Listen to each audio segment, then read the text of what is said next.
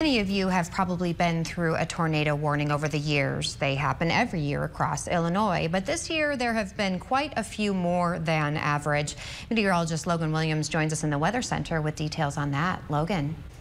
Yeah, Mackenzie, it's been a busy year across the state of Illinois. From a record-breaking January to large outbreaks in March and July, we've had our fair share of twisters, that's for sure. So many tornadoes, in fact, that Illinois is now leading the nation when it comes to the number of co confirmed tornadoes there with 120. The next closest state is Alabama, which is still nearly 30 tornadoes behind. This, by the way, compared to Illinois' average of 55 tornadoes a year. Some of the tornadoes this year locally include include last week's EF1 in Marceline and April's tornado that hit Industry and Table Grove.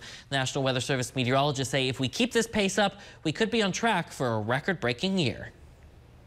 We're tied in second with 2003, which also had 100 tornadoes, and we're very close to 2006, which is uh, the record uh, with 124 tornadoes. And we've still got our secondary tornado season, which occurs in the fall uh, to go. So there's a very good chance that we beat this record this year.